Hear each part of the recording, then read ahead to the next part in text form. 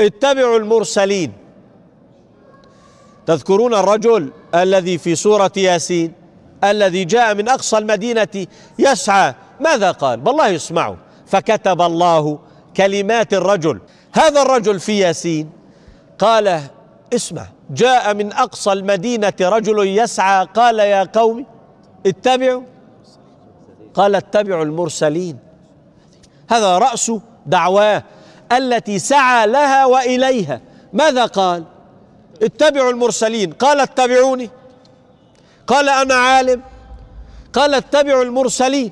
لاحظ الرجل لا يشير إلى نفسه. قلت لكم من قبل من أشار إلى نفسه بالاتباع من غير الأنبياء فلا تتبعوه. لا تتبعوا ماذا أقول؟ أسأل العامة قولوا لي ماذا تحبون وماذا تشتهون؟ وماذا تطلبون أن تسمعوا؟ لا أقول بل أنظر وأجعل مقالة الله وأمر الله بين عيني وأقول أعجب الناس أم لم يعجبهم؟ أحبوا أم كرهوا ما لي وللناس أخي. بالله عليكم رب هذا البيت رأيتموني يوما حججت أحدكم بأحد غير نبي الله أو جماعة أصحابه. كان عمر يقول من هنا يأتي الأمر. فوق مش من هون من هون مش من هون. أفرأيت من اتخذ إلهه هواه وأضله الله على علم وختم على سمعه وقلبه وجعل على بصره غشاوة؟ فمن يهديه من بعد الله؟ أفلا تذكرون؟ قال الله للنبي يوم لعن النبي أعيان الكافرين. قال الله ليس لك من الأمر شيء. أو يتوب عليهم أو يعذبهم فإنهم ظالمون. إن لم يكن لنبي الله شيء فمن له من الناس شيء؟ تفضلوا. مين له؟ أمسك. أسمع وأطع. إن كانت عندك بينة من الوحي هاتها. إن كان رأي كفرنا الرأي من زمن بعيد. الدين ليس رأيا والرأي ليس دينا. ومن كان له رب فليس له رأي. خالفوا الناس واتبعوا الأنبياء. لا خير لكم في اتباع الناس. قال ابن مسعود ما قد قلت لكم الإجماع ما وافق الحق. ولو كنت وحدك يأتي النبي يوم القيامة من الأنبياء ليس معه أحد. من الجماعة؟ النبي. جماعة هذه الأمة النبي محمد عليه الصلاة والسلام المليارات زيادة. أما الجماعة النبي هو الذي سيدخل بنا الجنة. وتالله لن يدخل أحد قبل محمد ولن يدخل أحد من هذه الأمة إلا بمحمد. ادرسوا في شيء في, الكتاب. إياك أن تقول لي قال فلان. والأحناف والشافعية والحنابلة والمالكية والمعتزلة والقدرية والجهمية إياك قطعت لسانك. إياك لا تحدثني في دين غير دين محمد عليه الصلاة والسلام. واضح؟ أن تسأل العالم الذي تثق به عن ماذا تسأله عن رأيه وعن رأي شيخه ومذهبه.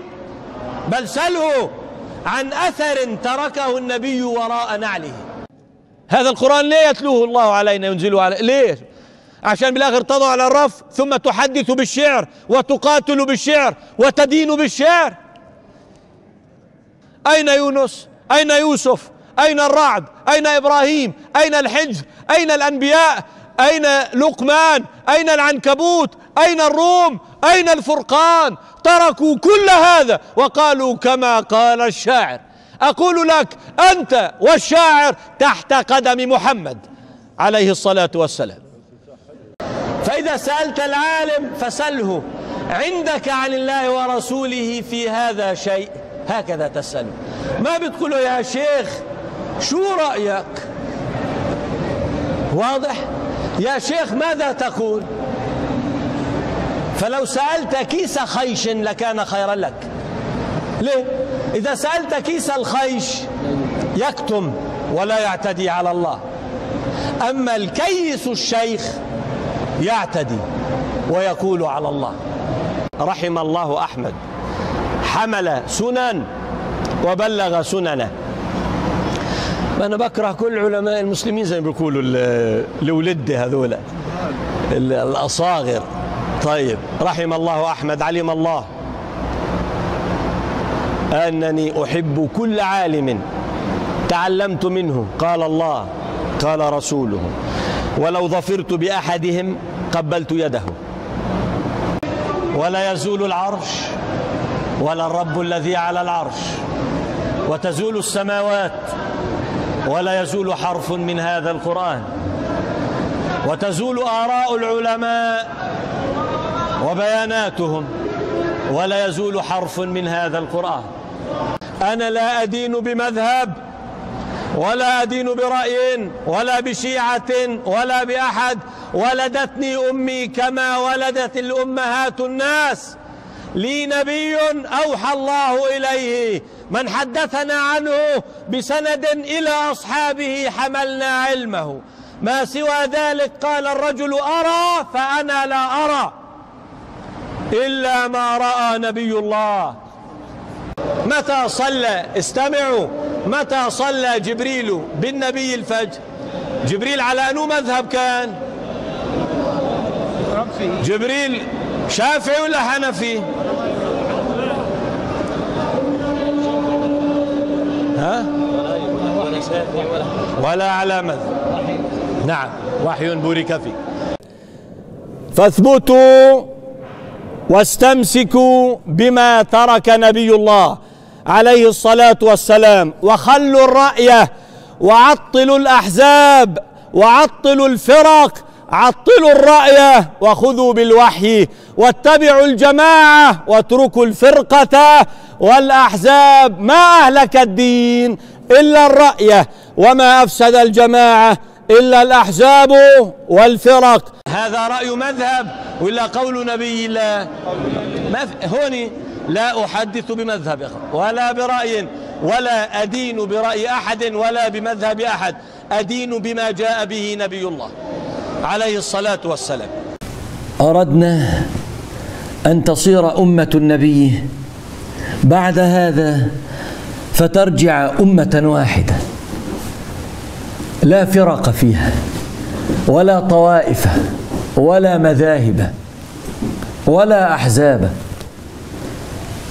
ويم الله الذي بيده أنفس الأنبياء إن هذا لصائر كائن كما أنكم تنطقون.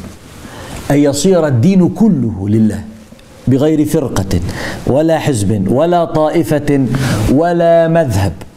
وأنا أقول لكم والله لو اتبعتم الأربعين مش الأربعة وخالفتم نبي الله أهلكتم أنفسكم. ولو خالفتم أربعين ألف ألف واتبعتم نبي الله نجوتم. فالشعر الذي يتلى على المنابر ضلالة. ومن أعمال الجاهلية ومن شر ما يقال على المنابر الشعر. ومن كان معه بيت شعر يرى أن ليس في القرآن وليس في حديث نبي الله مثله فليس أهلا أن يربو على درجة منبر. يكفي أن تعلم أن نبي المعلم ما تكلم من هذا بشيء. فقولهم صفات الذات وصفات الأفعال هي من عين البدعة والإحداث والقول في الدين بعدما تم واكتمل وختم. يقول لك العقيدة العقيدة. هذا الكلام السمج. هذا الكلام المبدل. هذا الكلام الذي أخر كلام الله ورسوله. بقول لك لا مشاحة في الاصطلاح. كل كلمة لم يقلها الله ورسوله في دينه فجاء رجل فحاك واصطلح وزاد فقد أحدث بعد نبي الله وعليه مما قال نبي الله سحقا سحقا لمن بدل بعدي وحتى لو لم تشفوا إذا نزل روح الله ستشفوا بإذن الله. من كل المعجزات. بما؟ بالآيات التي سيأتي بها. دير بالكم تعرفوا مين سيأتي بالمعجزات؟ الدجال. سيأتيكم بكل معجزة يعجزكم بها عن ربكم. ويعجزكم بها عن الحق. ثم ينزل عيسى فيأتيكم بكل بينة وكل برهان وكل بصيرة يأتي بكم إلى ربكم. شفت الفرق شيخ؟ طبعا الربيع أنا لا ربيع. ربيع شقاء ربيع دم ربيع قبور. عظام ومهالك وفروج وأعراض. وربيع صدق نبي الله. قال مع الدجال نهران. نهر نار ونهر ماء. نهر النار ماء ونهر الماء نار. الآن الربيع هو النار وسنة النبي الماء. إحنا علمنا حفت النار بالشهوات والخروج والدم من الشهوة وحفت الجنة بالمكاره والصبر من المكاره. بصبر ليه؟ ولو يوم عام عامين مئة كما صبر نوح وأدخل جنة لا أخرج منها أبدا.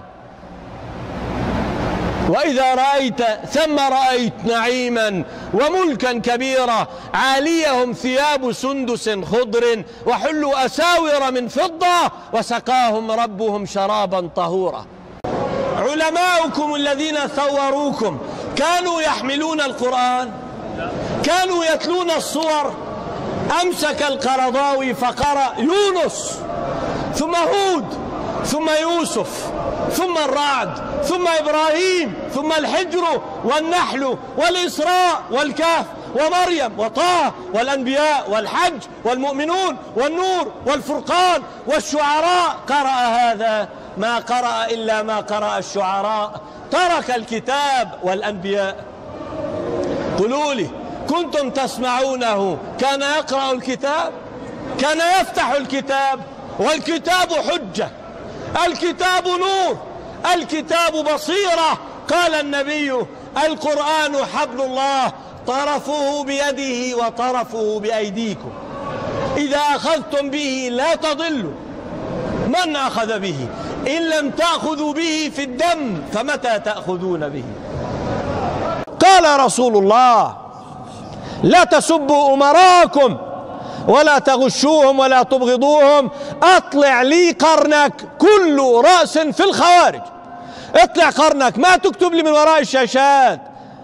ما ترسل لي في هكذا. هذا بيت مقدس. من كان منكم ذا قرنين فليطلع لنا قرنه. نكسره بالنبوة وكلام نبي الله عليه الصلاة والسلام. قولوا اللهم إن كانت هذه الثورة خيرا للمسلمين فبارك فيها وكثرها وانفع بها المسلمين. وإن كانت شرا وفتنة ووبالا على المسلمين فكف المسلمين شرها وأبدلهم خيرا منها مرضاتك وطاعتهم. آمين. واجعلوا بيوتكم قبلة التثبيت وأقيموا الصلاة. اسمع وبشر المؤمنين. هكذا سيغلب المؤمنون الكافرين بإقامة الصلاة هكذا قال الذي أنزل القرآن والله لو أقمتم الصلاة كما أقامها نبي الله وأصحاب نبي الله لغلب الله بكم أكفر الكافرين أين نحن؟ مع من نحن؟ أنا مع العدل مع القسط مع العفو مع الإصلاح مع الصلح مع الإحسان. بغير قطرة دم بغير طرقة هدم. ثم اخوانا أنا سألني أخ بالأمس. قال لي لعلك أخطأت في هذا.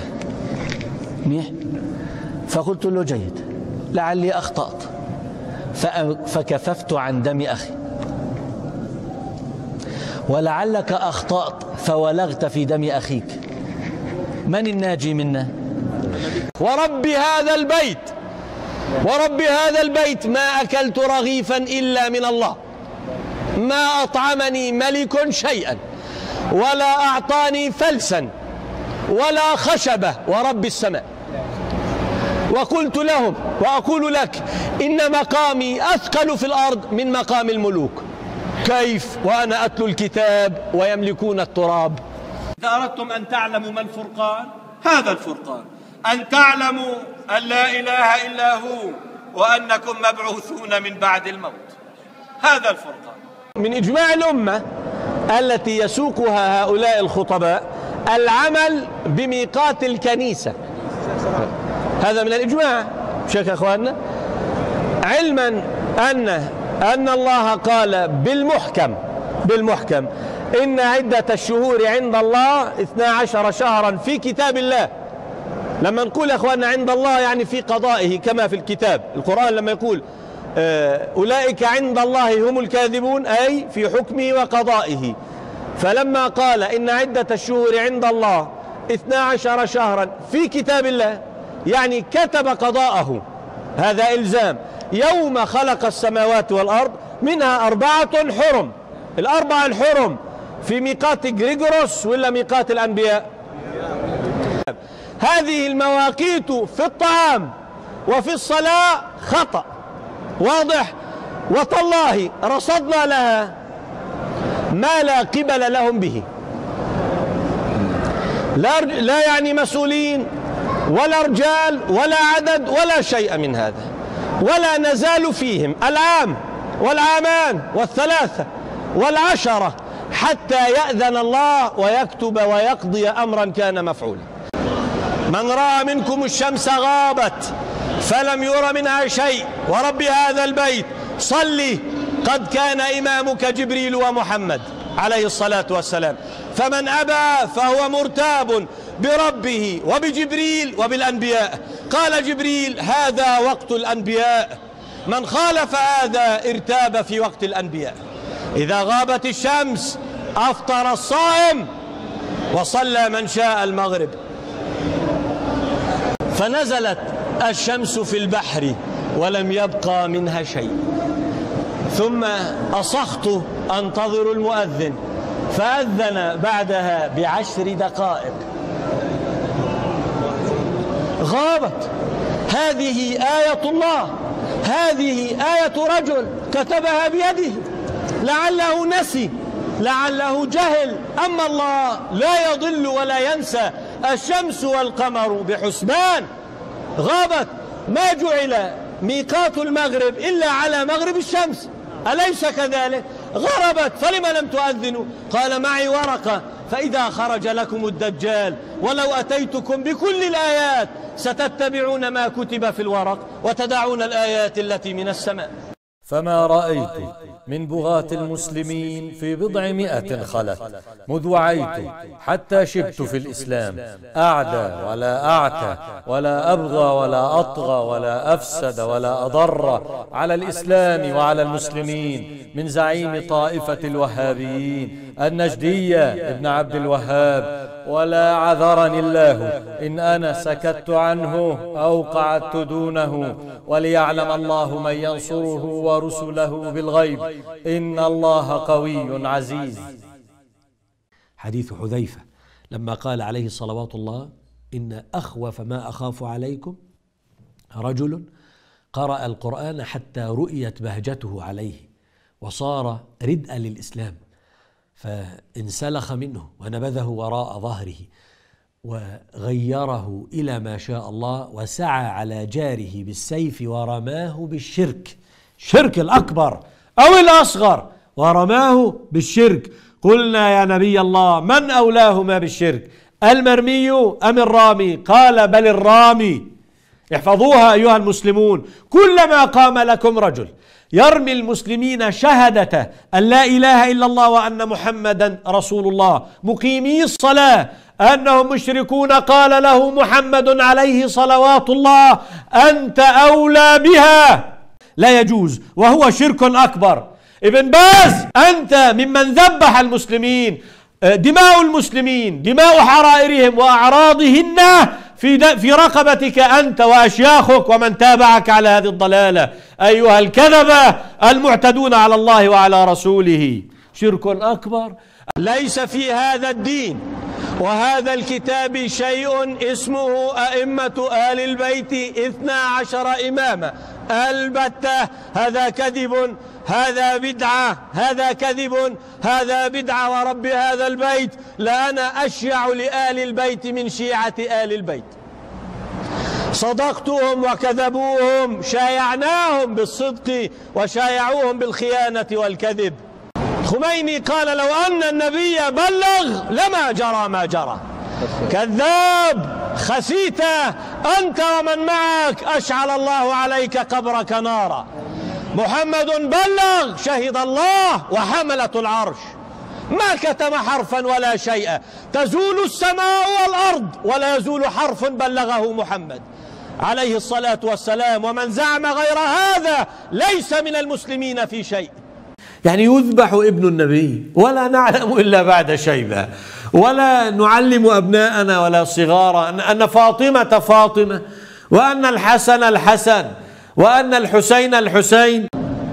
تهفو نفس المؤمن على روح الله وكلمته ابن مريم. يا حبذا أن تسمع رجلا من روح الله يتكلم بكلم الله بعدما سمعنا الخبث والفقر والجهالة. يا حبذا فجرا نصليه وراء ابن مريم. إني لأرجو إن طال بي عمر أن ألقى عيسى ابن مريم. فإن عجل بي موت فمن لقيه منكم؟ فليقرئه ابتداء عن نبينا السلام ثم عمن كان يرقبه وكان يعنيه أن يلقى نبيا بعد أن سمع بالأنبياء ولم يرى الأنبياء. وتالله ما أبقى لي ربي عمرا وما أنطق لي منطقا ونفسا لا أزال في الناس حتى يفصل الله بيننا وبينهم. أن يعلم الناس أن القول ما قال الله وأن الدين ما خطه محمد عليه الصلاة والسلام. فإن ينزل ابن مريم ونحن في الناس فقد آن للعالمين أن يعلموا من كان على هدى ومن كان في ضلال مبين. وإن عجل بنا موت فارقبوا ابن مريم وسلوه وارقبوه وانظروه على ما هو.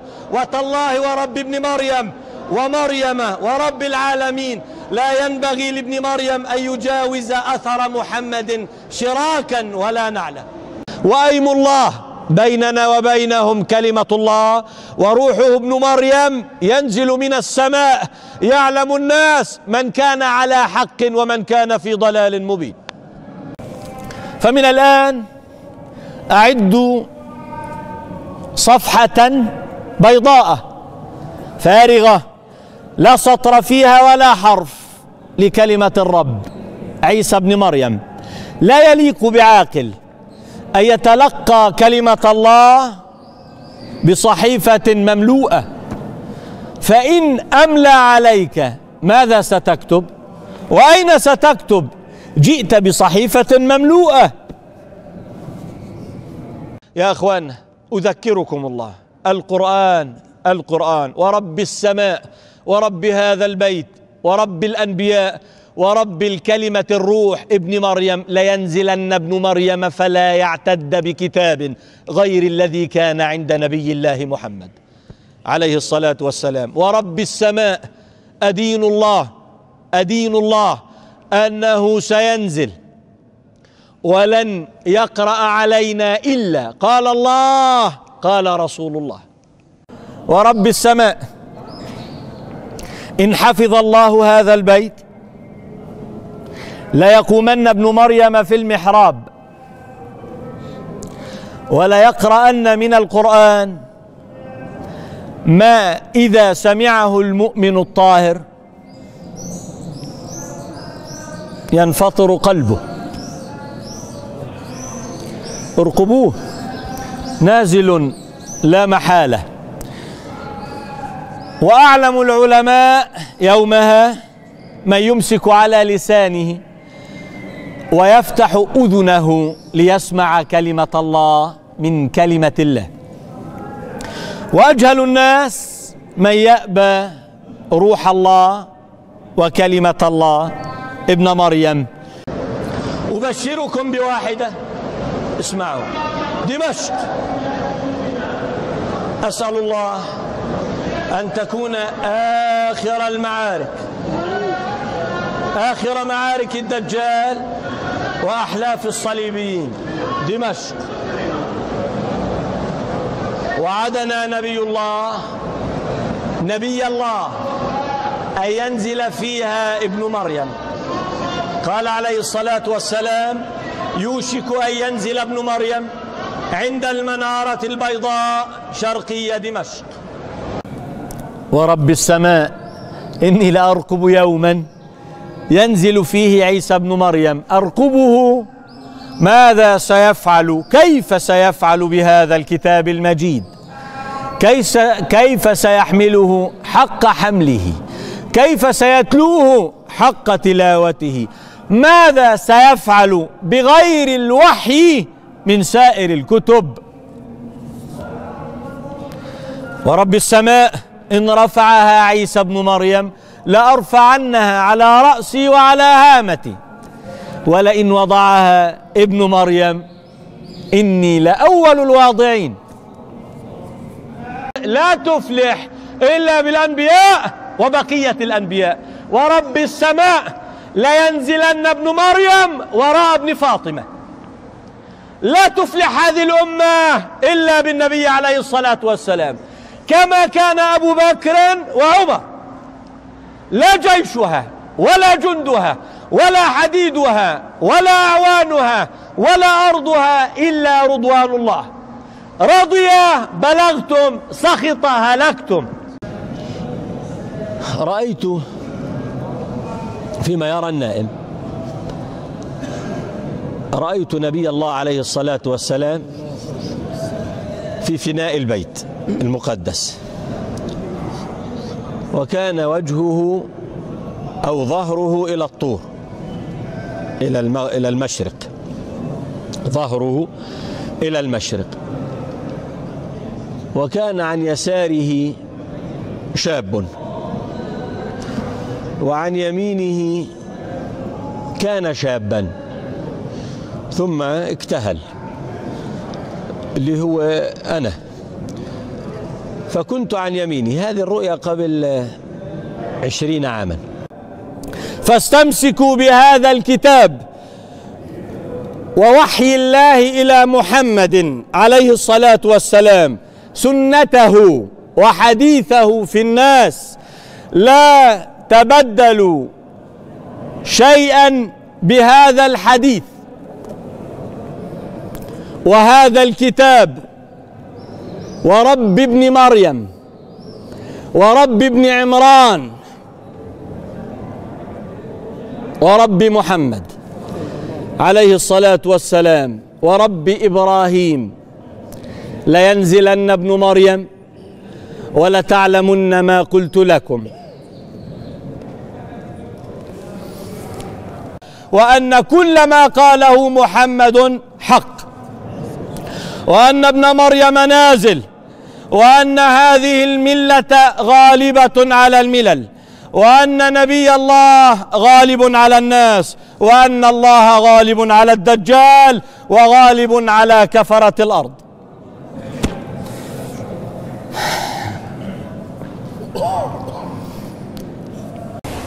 وجاء من أقصى المدينة رجل يسعى قال يا قوم اتبعوا المرسلين. اتبعوا من لا يسألكم أجرا وهم مهتدون.